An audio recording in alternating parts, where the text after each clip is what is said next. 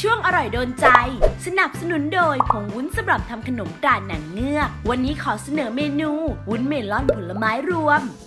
วิธีทำวุ้นเมลอนผลไม้รวม คว้านเนื้อเมลอนด้านในออกสำหรับเป็นภาชนะ ใส่ผงวุ้นสำหรับทำขนมตราหนังเงือก น้ำตาลทราย เกลือป่น กลิ่นวานิลา และนมสด UHT รสจืด ลงในภาชนะนำขึ้นตั้งไฟ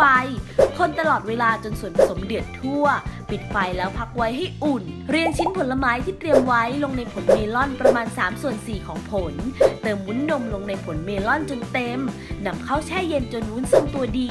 นำออกมาตัดเป็นชิ้นขนาดตามต้องการ พร้อมเสิร์ฟค่ะกับเมนู วุ้นเมลอนผลไม้รวม เมนูโดนใจจากผงวุ้นสำหรับทำขนมราหนังเงือก